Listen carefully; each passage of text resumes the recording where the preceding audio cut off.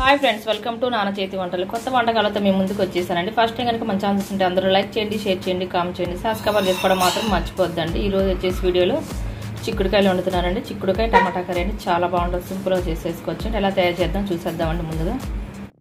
చిక్కుడుకాయలన్నీ ఒలిసేసేసుకొని తగినన్ని వాటర్ పోసుకొని వీళ్ళు బాగా ఉడకనిద్దామండి. స్టవ్ మీద పెట్టేసుకొని మూత పెట్టేసుకొని కాసేపు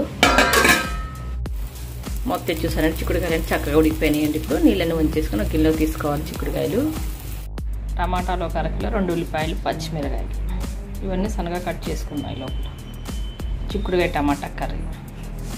టమాటాలు ఈ సైజు ముక్కలు సన్నగా కట్ చేసుకోవాలి. పచ్చిమిరకాయలు ఉల్లిపాయలు కరివేపాకు. స్టవ్ వెలిగించేసుకొని ఆయిల్ వేసుకొని ఆయిల్ వేడిగా కరివేపాకు వేసుకోవాలండి. దీంట్లోకి ఉల్లిపాయ పచ్చిమిరకాయలు కూడా వేసుకొని కొంచెం వేగనివ్వాలి. ఉల్లిపాయ పచ్చిమిరకాయ చక్కగా వేగుతున్నాయండి. చక్కగా వేగేసి ఇప్పుడు దీంట్లోకి చిక్కుడుకాయలు వేసుకోవాలి. ముందుగా చిక్కుడుకాయలని ఇలా ఉడకేసుకున్నాం కదండి. ఇవి నూనెలో వేసుకోవాలి. చిక్కుడుకాయలన్నీ వేసేసుకొని తిప్పుకోవాలి. ఇవి కూడా బాగా కొంచెం ఫ్రై అవ్వాలండి చిక్కుడుకాయలు.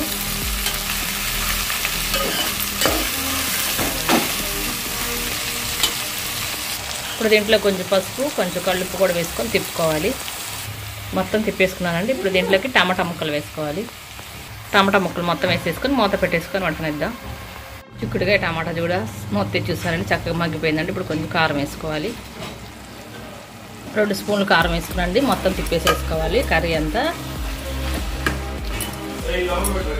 చక్కగా కలిసిపోయిందండి ఇప్పుడు దీంట్లోకి తగినన్ని వాటర్ పోసేసుకొని కూర అంతా తిప్పేసుకొని మూత పెట్టేసుకుందామండి.